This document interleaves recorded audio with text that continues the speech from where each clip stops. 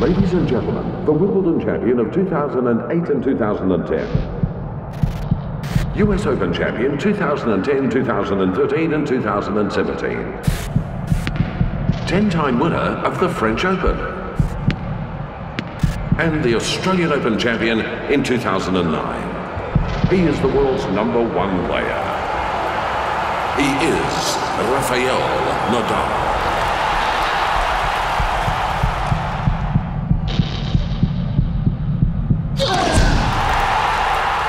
And this is AO Tennis.